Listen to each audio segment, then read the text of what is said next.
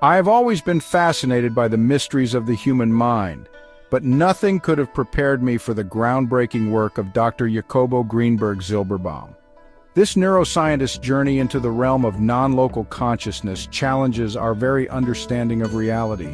Today we're diving into a world where science meets mysticism and where the boundaries of our minds may extend far beyond what we've ever imagined. Dr. Jacobo Grinberg Zylberbaum wasn't your typical neuroscientist. He chose to work extensively with shamans in Mexico, collecting vast amounts of data using electroencephalograph readings. But why shamans, you might ask? Well, these traditional healers have long claimed to tap into unseen realms of consciousness, and Grinberg wanted to put these claims to the scientific test.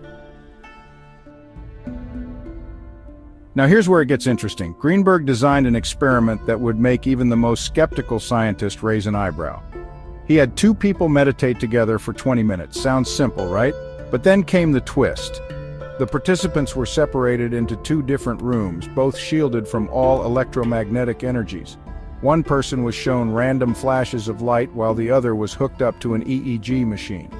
The person hooked up to the EEG showed a shock response perfectly timed with the other person's light flashes 25% of the time. A control group showed no such correlation. It was as if the minds of the paired subjects in the experimental group remained connected despite being physically separated. To explain these mind-boggling results, Grinberg proposed a theory that sounds like it's straight out of a sci-fi novel. He called it a holographic non-local lattice, a kind of invisible matrix connecting all of our minds. Imagine for a moment that our brains are like computers connected to a vast unseen network. This network, according to Grinberg, is the very fabric of consciousness itself. When our brains are free from interpretations, like during deep meditation, we can tap into this larger field of consciousness. Now you might be thinking, this sounds too far-fetched to be true. But here's the thing. Other researchers started to find similar results. Take physicist Fred H. Thaheld, for example. He used Faraday cages to isolate paired subjects whose EEG readings suggested the presence of biological non-locality. Charles Tart of UC Davis took it a step further. He monitored things like skin resistance, blood volume, and heart rate in response to small electric shocks in subjects who were separated by distance. Even when completely isolated, the receiver showed physiological responses that matched the sender's shocks. It's enough to make you question everything you thought you knew about the limits of human connection. But wait, there's more. Marilyn Schlitz and William Braud decided to test whether intention alone could influence someone from a distance. 57% of the time, their skin response showed a direct correlation with the influencer's intentions. Jean Achterberg took it even further. She had experienced healers send healing intentions to isolated receivers whose brains were being scanned by an MRI. Let's break this down. People's brains were reacting to thoughts sent from afar without any known physical means of communication. It's like we're all part of some vast, invisible network of consciousness. Now let's talk about dreams.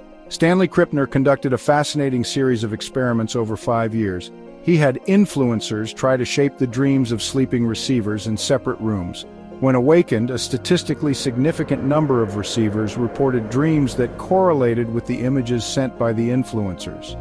It's as if our dreams are not just private movies in our heads, but potentially shared experiences connected through this invisible web of consciousness. This raises profound questions about the nature of our inner worlds and how they might be more interconnected than we ever imagined. Now you might be wondering, how is any of this possible? To understand that, we need to take a quick detour into the weird world of quantum physics.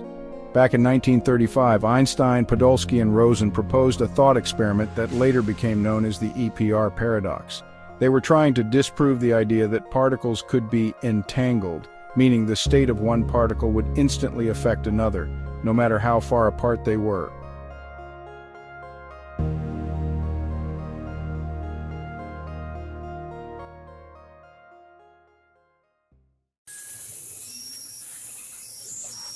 Let's dive deeper into this quantum rabbit hole. French physicist Alain Aspect conducted experiments showing that entangled particles communicate about 20 times faster than the speed of light. That's fast enough to make Einstein roll in his grave. His theory of relativity said nothing could travel faster than light. So, what does all of this mean? If Grinberg and these other researchers are right, we might be living in a reality far stranger and more interconnected than we ever imagined. Our individual minds might be like nodes in a vast cosmic network of consciousness.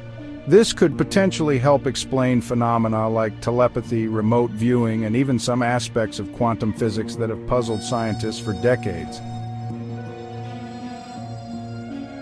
As we've seen, the work of Dr. Grinberg and others challenges our understanding of consciousness and reality itself. From shamanic insight to physics, we're uncovering a world where minds can connect across space and time in ways we're only beginning to understand. The question now is, how will this knowledge shape our future? As we continue to explore these uncharted frontiers of the mind, one thing is certain, the greatest mysteries of consciousness are still waiting to be unveiled.